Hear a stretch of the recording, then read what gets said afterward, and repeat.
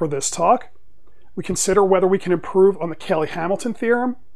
This will lead to the notion of a minimal polynomial for a square matrix A.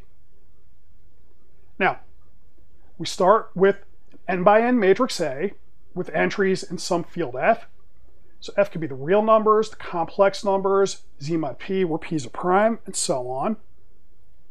The Cayley-Hamilton theorem says if we form the characteristic polynomial for A, okay, given by determinant xi minus A, okay, we have a polynomial with coefficients as follows, okay, and the leading terms are 1. Then if we convert this over to a matrix polynomial in A, what comes out is the zero matrix. Now if we consider simple example, so I'll just take twice the identity matrix. Okay, I could run this A through our machinery here. For the characteristic polynomial, we'll have x minus 2 to the third power. So we'll have A satisfying this equation here. Now you'll note this equation's overkill because just by observation, we see that A satisfies A minus 2 times I equal to 0. So if we're looking for polynomials that send our matrix to 0, okay, we could start with a characteristic polynomial, but we might be able to do better. And this is where minimal polynomials come in. Now, our main result, okay, so theorem. First, there exists a smallest degree monic polynomial. Okay, monic just means leading coefficients 1. Okay, so I'll give it in this form, such that m sub a on our matrix A is equal to the zero matrix. Okay, and this m sub a is what we're calling the minimal polynomial of A. Now, minimal because it'll have smallest degree with this property, but also because if I have any non-zero polynomial Q, such that if I put A in we get the zero matrix out, then I'll have to have that m sub a divides q. Now, one special case of this, we know that the characteristic polynomial, when applied to a, gives us zero. So we'll have that m sub a divides p sub a. And we also have, if we have a polynomial q sub x, which is an irreducible factor of the characteristic polynomial of a, then q sub x must divide ma. For an example, let's consider the following 4x4 real matrix. If we work out the characteristic polynomial, we get x minus 1 cubed times x minus 2. By our theorem, the factors of the minimal polynomial are going to be x minus 1 and x minus 2. We just have to figure out the exponent on the x minus 1. Now, it could be 1, 2, or 3. And the only way we find out is by directly checking. So if we check x minus 1, x minus 2, 0 doesn't come out when we put a in. But if we use x minus 1 squared, x minus 2, we put a in, 0 comes out. And that's our minimal polynomial then. Now, to show the theorem, we need to understand how polynomials work. So, we'll give a brief review of this. So, for notation, I'm going to have f adjoin x Okay, so this is in brackets. This is just the set of polynomials in X with coefficients in the field F. If we have ring theory available, then we have that F adjoin X is a Euclidean domain where size is measured by degree of polynomials. That implies we have a principal ideal domain, which implies we have a unique factorization domain. Since we're not assuming ring theory, we'll just state this in plain English using analogies with the integers. Now, noting that f adjoin x behaves like the integers, where we begin with something that everyone believes, that's that we can do long division with polynomials. So if I have polynomials f of x and h of x with the degree of f greater than the degree of h, we can do long division. So that's just going to say I could find polynomials q and r such that we have f equal to q times h plus rx. Then the degree of r is between 0 and the degree of h. With that, we could then talk about the divisibility. So I would say that h divides f if and only if we could find some polynomial q such that f is equal to q times h. From there, when I have degree of f positive, we can consider the version of prime integers for polynomials. Okay, we'll call these irreducible polynomials. So we'll say a polynomial is irreducible if whenever I break up f as a product m of x times n of x, that implies at least one of m or n is equal to a constant. So we can't split this into two polynomials that have positive degree. For examples, if we're over the complex numbers, then every irreducible polynomial is of the form x minus c if we insist on monic. So that just means the leading coefficient's a 1. For the reals, the irreducibles come in two types, x minus a real number, or the irreducible quadratics, x squared plus ax plus b, where a and b are real. And these factor over the complex numbers as x minus c, where c is complex, times x minus complex conjugate of c. Now, if we let the irreducibles stand in for the prime integers, we have the analog of the fundamental theorem of arithmetic. So this just means unique factorization.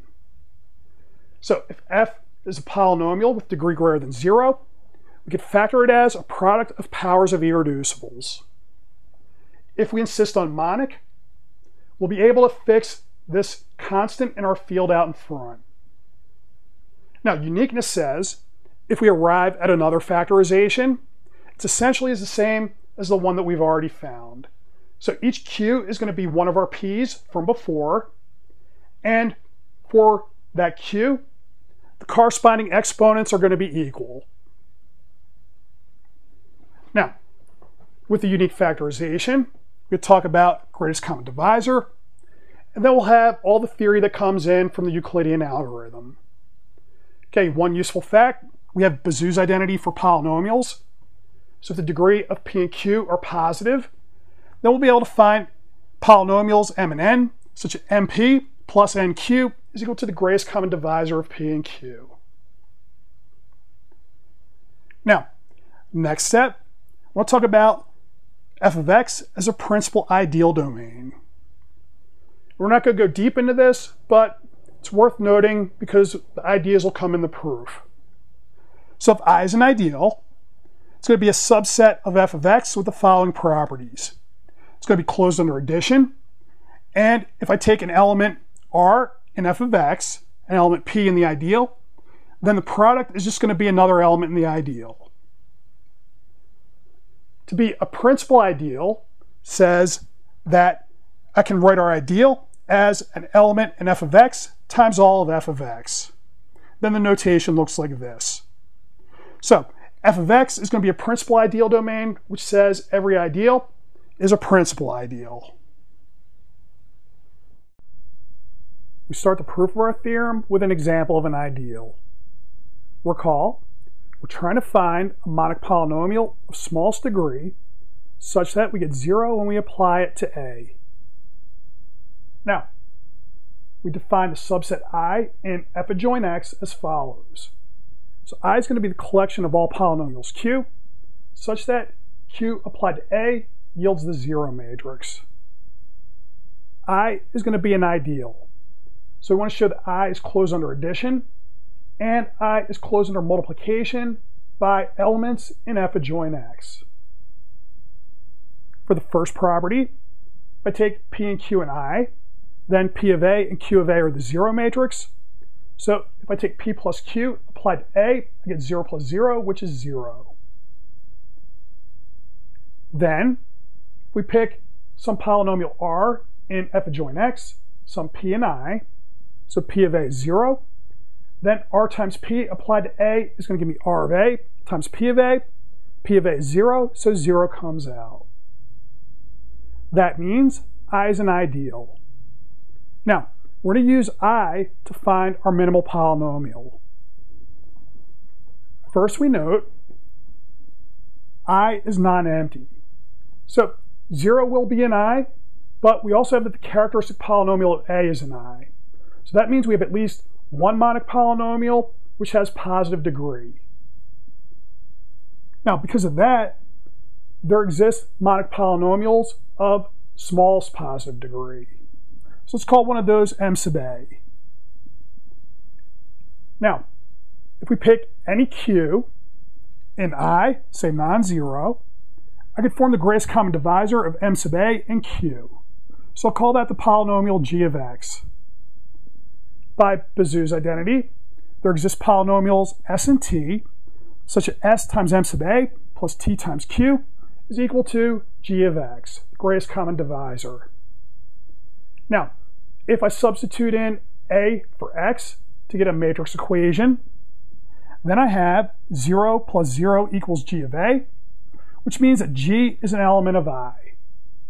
Now, g has positive degree, and it divides both m sub a and q. So, that means, first, okay, well, I have g divides m sub a. Since m sub a is of smallest degree, that means they're equal. But in turn, that means that m sub a will divide q. So that's the result that we're looking for for the first part of the theorem. For the second part, we apply the Cayley-Hamilton theorem.